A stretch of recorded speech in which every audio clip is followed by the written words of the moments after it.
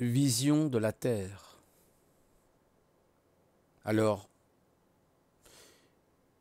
je fais cette toute petite capsule pour vous expliquer ma vision. La vision, en toute honnêteté, en toute sincérité, que j'ai eue il y a à peu près 8 ans, 7-8 ans environ, et qui m'aura marqué à jamais. Marqué à jamais. Ce que je vous dis là, vous n'êtes pas obligé de me croire. Libre à vous. Il y a huit ans, j'ai fait un cauchemar. C'était pas un rêve pour la terre. Cette si belle terre, dont certains diront, elle n'est pas ronde, elle est plate. Ou comme dirait Alain Duc, en forme ovale. Après tout, quel est le problème? Il n'y en a pas. Ce rêve, enfin, ce cauchemar,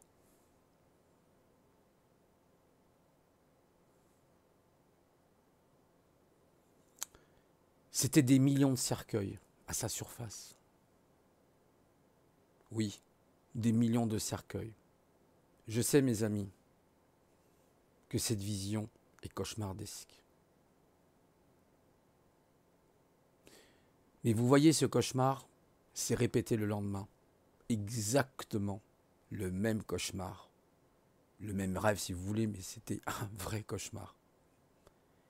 Et depuis ce jour, depuis ces 7-8 ans, vous me croirez ou vous ne me croirez pas, j'y pense quasiment tous les jours. J'ai été extrêmement marqué par cette vision cette prémonition. Je ne vous mens pas. Ce que je vous dis, c'est la vérité. Si, de votre libre arbitre, vous décidez que ce n'est pas la vérité, c'est votre libre choix. Je m'exprime avec mon cœur, je m'exprime avec tout ce que j'ai dans mon esprit. Alors c'est vrai, c'est une vidéo pas très réjouissante. Mais il fallait que je la fasse. Parce que. Parce que c'est ainsi. C'était parce qu'il fallait le faire. Parce que le moment est venu de dire.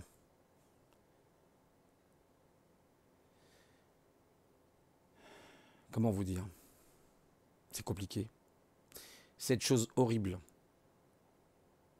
qui risque malheureusement d'arriver dans les années qui viennent.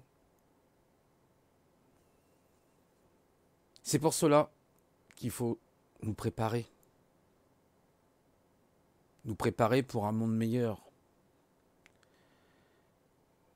Ce cauchemar, ce rêve mais vraiment froid qui m'a glacé le sang, dans lequel je pense quasiment tous les jours, les amis c'est un vrai cauchemar. C'est même pas un rêve, c'est un cauchemar. Mais je peux vous assurer que c'est terrible. Et j'aurais préféré jamais avoir eu cette vision. Jamais. Jamais. Alors, c'est ce que je vous dis. Vous êtes libre ou pas d'ouvrir votre esprit. Comme diraient les Anglais, open mind, ouvrez votre esprit pour comprendre que notre terre est en danger que les humains qui l'habitent sont en danger.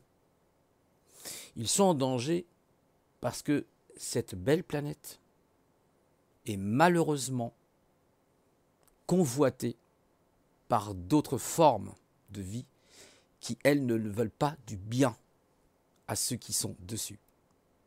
En tout cas, ceux qui sont vraiment des humains, qui ont une âme. Je m'adresse à ceux qui ont une âme, ceux qui s'élèvent Priez si vous voulez. Cela fera grandir votre âme. Vous avez un, grand homme qui s'appelait, qui, s'appelle toujours, pardon, que dis-je, Joseph Murphy. Et Joseph Murphy n'était pas un croyant comme les autres. Il a été, à un moment donné, euh, par son enfance, éduqué dans la religion. Il a prié dans la religion.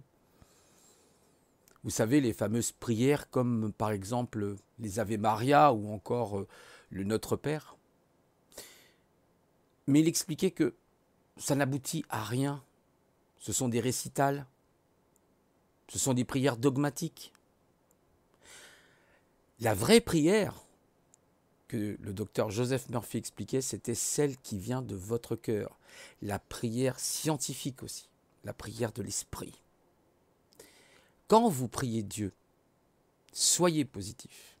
Dites-lui, j'affirme, par exemple, hein, j'affirme que l'amour, la vérité, la protection de Dieu, sa puissance, sont en moi, circulent en moi, sont l'énergie qui est en moi. Et il me bénit. Cette énergie circule librement en moi. Vous voyez? Il me bénit au-delà de mes plus grands rêves. Répétez ces mantras trois fois par jour. Le matin et le soir seulement. Trois fois.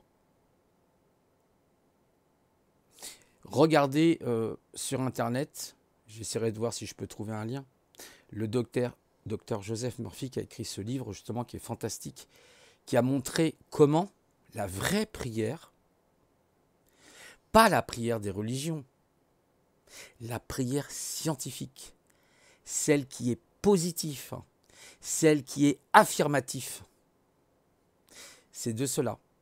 Alors j'essaye pas euh, de faire un cours de religion, hein, c'est pas ça du tout.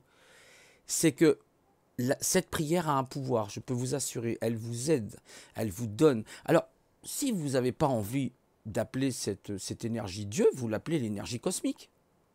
L'énergie cosmique, la force cosmique, la vie, comme vous voulez. Vous n'êtes pas obligé d'ailleurs de mettre le mot Dieu, hein, d'accord? Vous pouvez l'appeler énergie cosmique.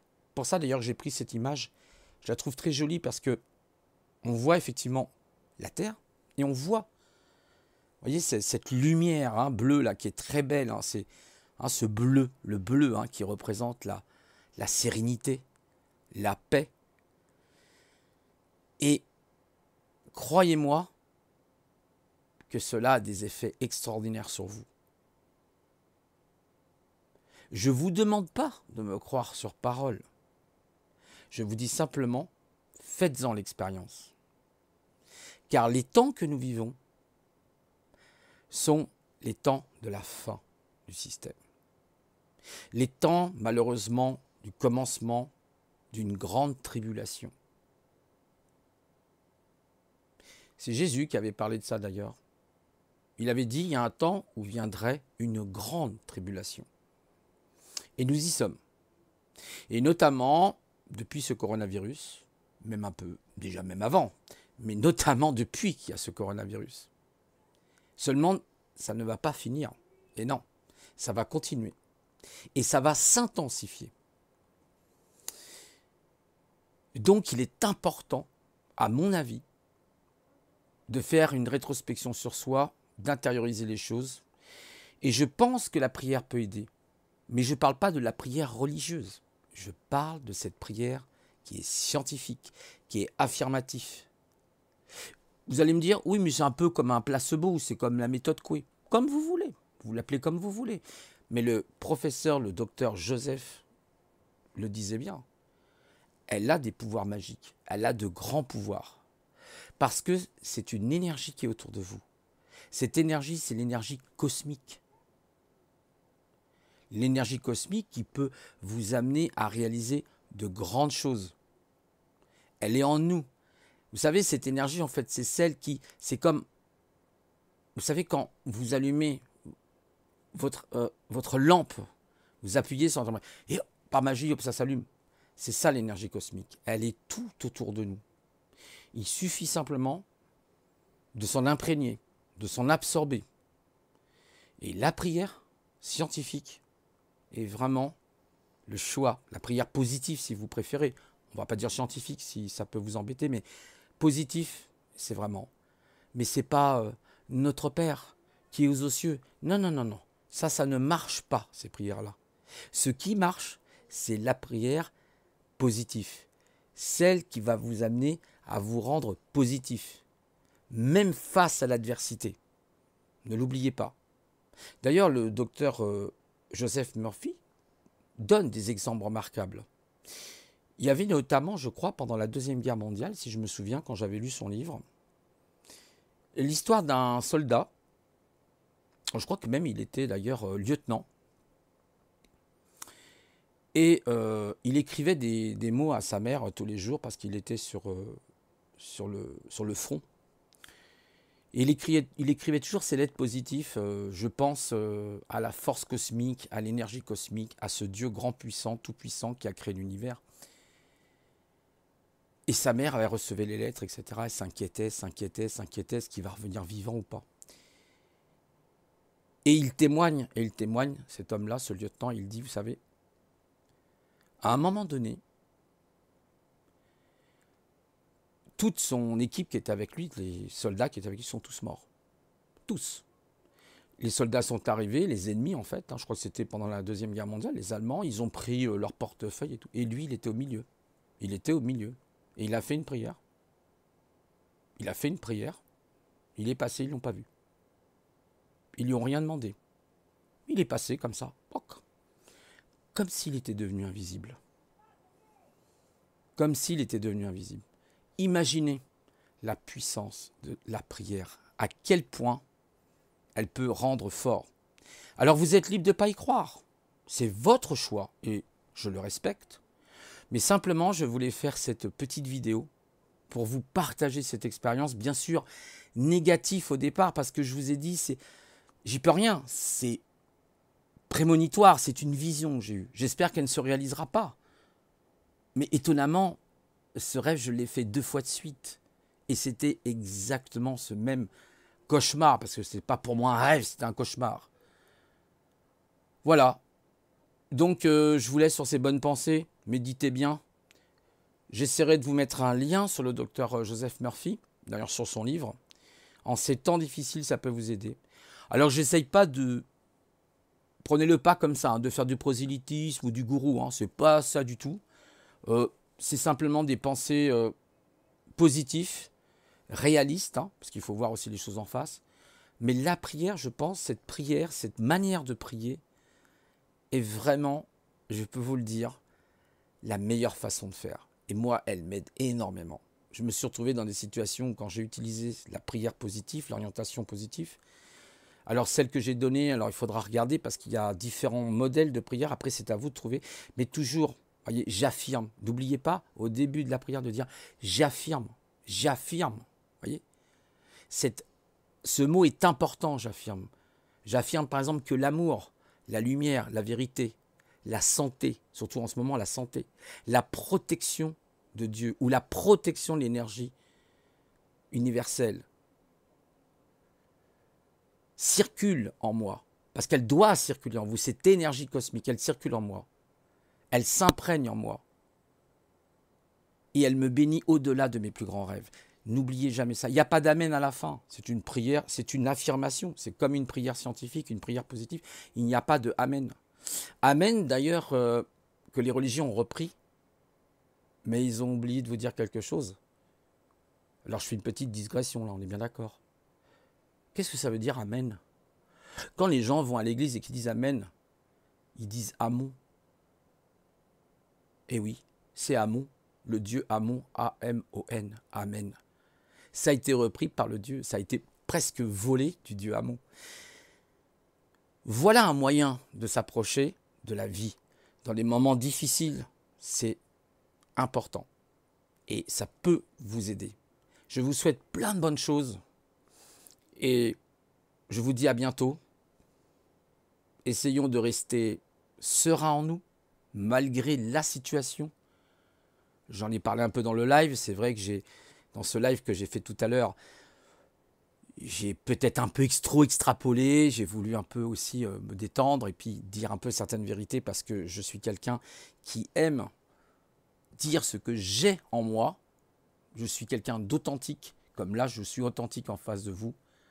Et c'est à vous, voyez, calmement, hein. là je suis très calme, parce que j'ai médité.